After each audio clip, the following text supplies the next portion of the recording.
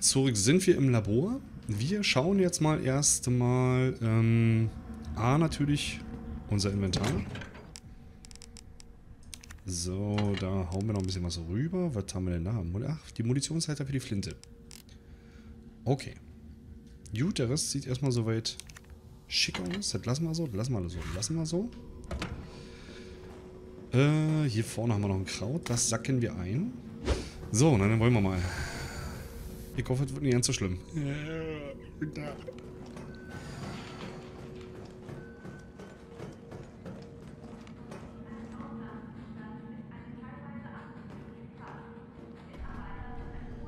Ja, Design ist aber auch wirklich, es ist einfach geil. Man muss es einfach ganz klar sagen.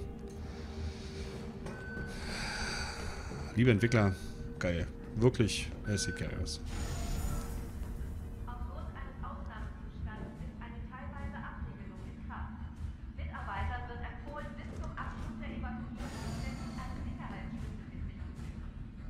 Ja, wir haben keinen Sicherheitsschlüssel und alles ist hier verriegelt und verrammelt. So, das, äh, bin ein bisschen erstaunt, irgendwie, dass die alle noch ruhig rumliegen eigentlich. Und nicht hier schon wieder Bambule-mäßig alle rumlaufen, die ganzen Zombies. Das ist doch, ja, wieso so was Fall im Staat der Dänemark? Ja, wahrscheinlich passiert das auch erst, oder die werden halt durch irgendein Event erstmal getriggert oder irgend sowas. Hm, was ist das? Hier müssen wir anscheinend eine Probe Legen eingeben. Sie zum Start der Impfstoffsynthese die Rohstoffe in die Kammer. Synthese? Ich muss ihn selbst herstellen? Okay.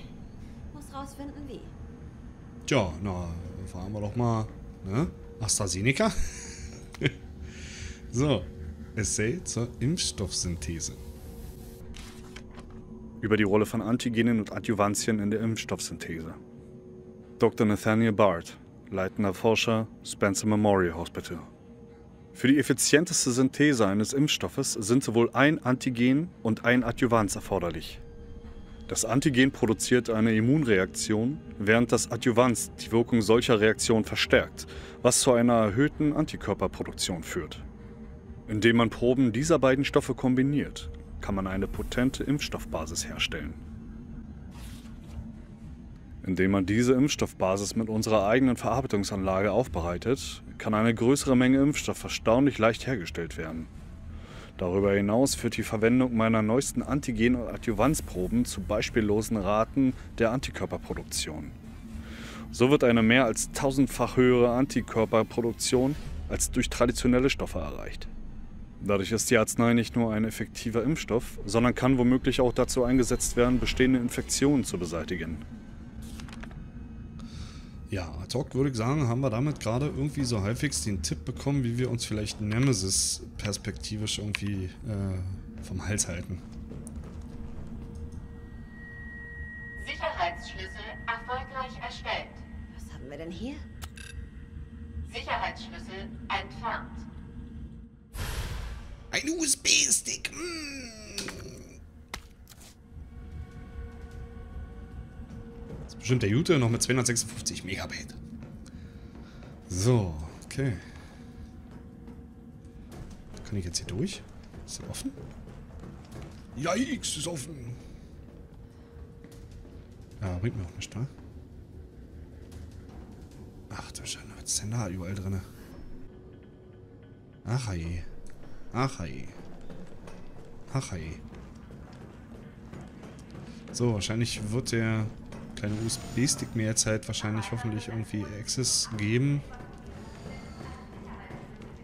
Hoffe ich. Okay, gar nicht rein. Hier, Kumpel, alles klar. Ja, wie gesagt, die sind alle noch sehr inaktiv irgendwie. Was ich mich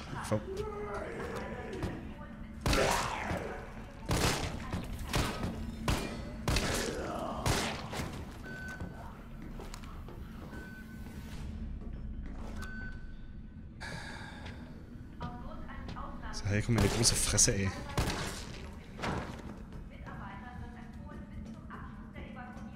Zettelchen. Okay. Isaac Graves Tagebuch. Die Bezahlung war üppig, die Zusatzleistungen gut. Und am wichtigsten, sie versprachen mir, dass ich einen Beitrag zur modernsten medizintechnischen Forschung leisten würde. Für einen Universitätslehrenden aus nirgendwo Amerika war das eine unglaubliche Chance. Wie ein Gewinn im Lotto. Also nahm ich an. Ich überzeugte meine Familie und wir sind hier nach Raccoon City gezogen. Nun, im Nachhinein weiß man es immer besser. Dieses Labor ist eine Höhle von Monstern, die grausame und barbarische Experimente mit dem einzigen Zweck durchführen, menschliches Leben in der abscheulichsten Weise wie möglich zu nehmen.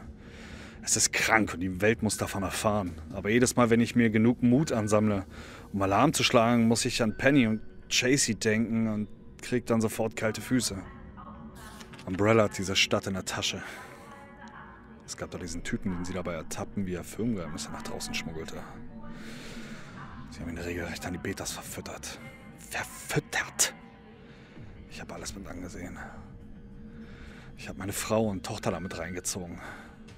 Ich muss nur meinen Job machen. Nur machen, was sie mir sagen. Ihretwillen. Aber dies soll ein Beleg dafür sein, dass ich ein Gewissen habe. Und dass ich meine Lektion gelernt habe. Ja, das ist natürlich... Hast du deine Familie mit drin gezogen, da... Ja, das ist kacke. Das, man wisst das halt nicht vorher, ne? Irgendwie. Ich meine, gut, wir reden hier von Umbrella. Aber selbst die werden wahrscheinlich super Marketing haben irgendwie und das alles so verschleiern können, dass das halt keiner mitkriegt. Irgendwie von draußen. Wenn man sich da bewirbt. Oder halt. Und das verstehe ich nicht. Warum jedes Mal diese Mausbacken im Mescher irgendwie ben, bis, dann kommt trotzdem einer angeschissen. Darf's nicht. So. Ist jetzt hier nee, ist nicht zu jung. Ja, okay. Wir haben jetzt. Bringt das jetzt irgendwas? War vorne noch eine Tür?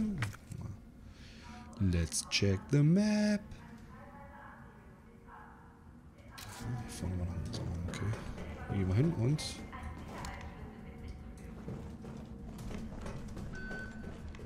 Sicherheitsschlüssel. Hammer.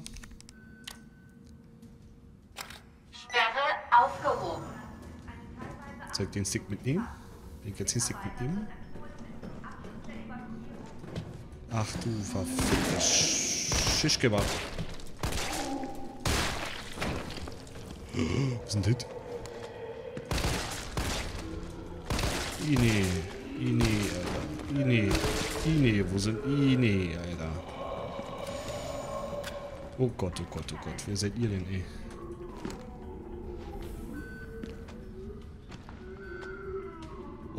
Pfui. Deibel, da.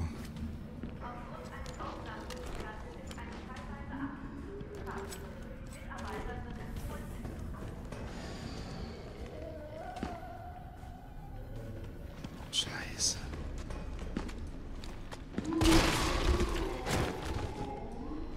Ja, Schweine, ey.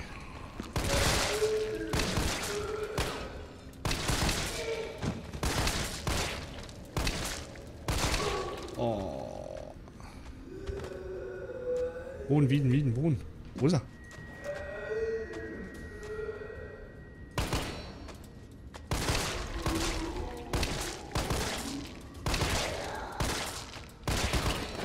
Stirb.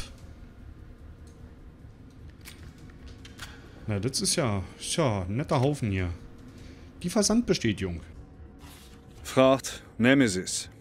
Versandroute CDG JFK RC.